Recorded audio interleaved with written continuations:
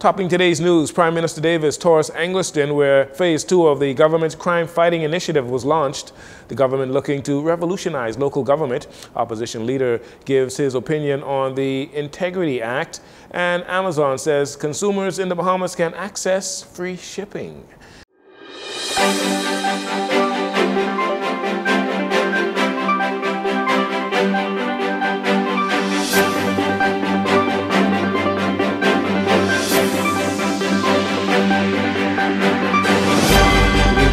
I'm Jareno Saunders. This is your JCN Evening News. It's definitely a pleasure to have you join us. The second phase of the Davis administration's fight against crime, the strategy which is called Clear, Hold, and Build, is making significant strides. Prime Minister Philip Davis, as well as the Member of Parliament for Englerston, Glenys Hanna Martin, assessed the community yesterday with the Prime Minister expressing his thoughts on the multi-agency initiative as things are progressing within the Englerston community. Well, the joy that this brings me is, is overwhelming because we have to start somewhere. And all of the initiatives that we have been uh, engaged in and putting out there is all designed to uplift our people, to bring dignity, self-respect, self-confidence, and a reset in their mind as to how they should coexist in communities. Coexisting with overgrown overgrown lots, coexisting with garbage, coexisting with derelict vehicles, only breeds um, antisocial behavior and, of course, becomes venues for criminal activities. Hanna Martin shared some of the plans that are ahead for the continuous progress of the Clear Hold and Build strategy, which has been launched in her constituency. And this particular program, which is Clear Hold Build, began with, as you would have heard from ASP Pinder, with the clearing of lots, removal of debris, old cars, and all of these things that people are coexisting with every day, which ha- affects your psyche. So we, we, we've been looking at clearing the lots, as she said, moving the vehicles. We're looking at street lighting. We're looking at um, speed bumps, so people who don't live here don't come speeding through. In recent reports, 25 lots have been cleared in the area, which has led to a decrease in places to hide illegal weapons. And as a result, the number of gunshots recorded by police ShotSpotter technology has decreased in the Englerston area since the initiative began.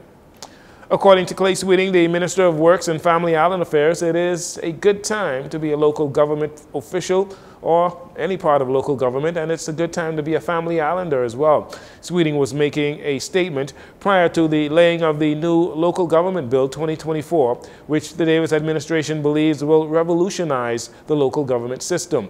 He said after some regression within local government, the new bill will change that in keeping with the Davis administration's blueprint for change. Madam Speaker, the ninth charter in this government's blueprint for change speaks to family island development in relation to local government specific objectives, which include the further decentralization, decision making, and putting power in the hands of communities through local government, increasing the budget for the local government councils, empowering local government bodies to have revenue raising powers and to share jurisdiction over local affairs and community management and development. There are 33 local government districts throughout the country, Mr. Sweeting said after wide consultation, many of the concerns expressed by various local government districts have been met.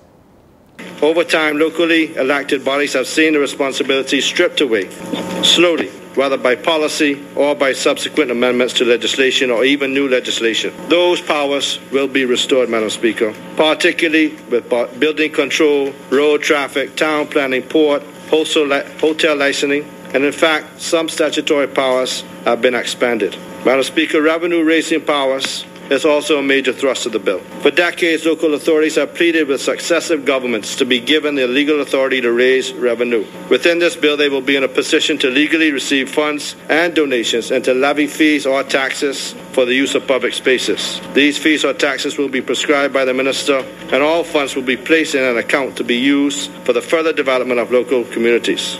These funds are subject to financial regulations to ensure transparency and accountability.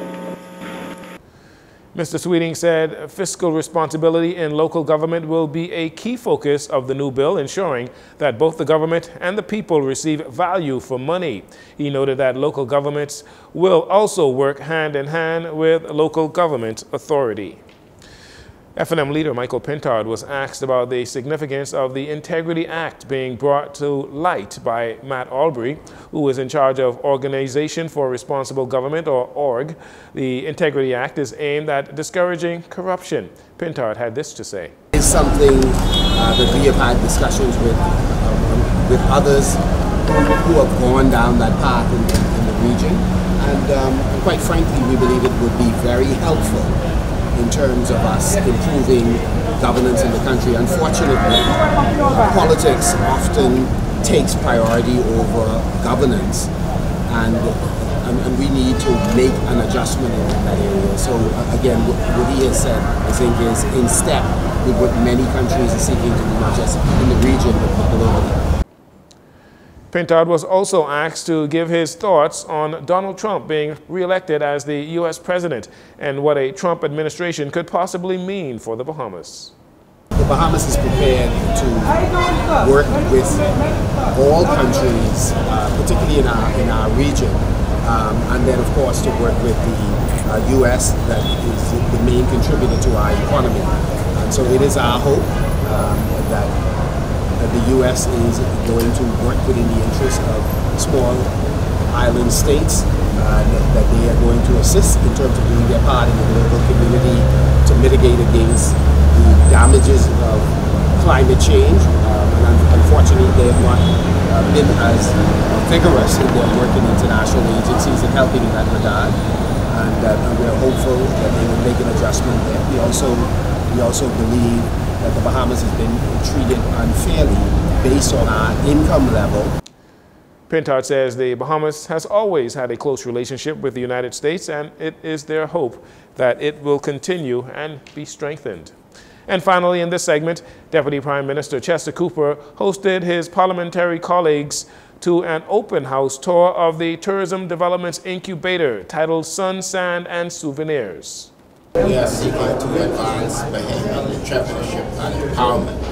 And we wanted them to have an appreciation for the fact that, that we're not just talking the talk, we're walking the walk.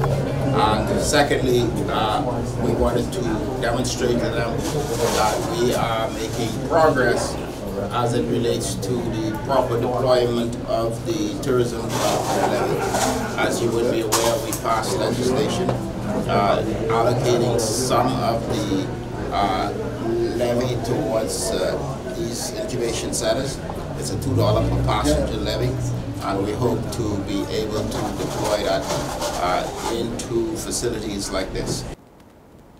Cooper also says that there will be incubation centers on the islands of Exuma and Grand Bahama as well. The Minister for Grand Bahamas announced that we are going to, to launch the the incubation center on the Royal, Royal Palm Towers on the Mall Drive uh, real soon. The, the property has been identified uh, and I believe we are completing the paperwork and designs and we expect that to happen soon.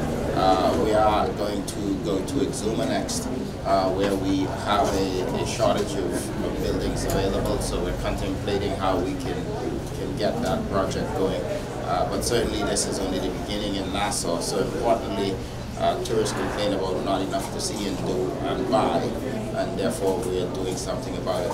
We hope to be able to build out in a space nearby a, a an incubation center, uh, perhaps uh, called something different, but Sun, Sand, Souvenir is only the beginning of a, a massive space that we are going to convert, and we're excited about that possibility. Cooper said his ministry is always seeking to attract new foreign direct investors to Bahamian shores, and they're looking to see how they can get as many of them out of the pipeline. They've got about $10 billion in investments in the pipeline, and they're looking to get some of those projects on the way. And uh, you're listening to JCN News. We'll take a break here. We'll be right back after these commercials.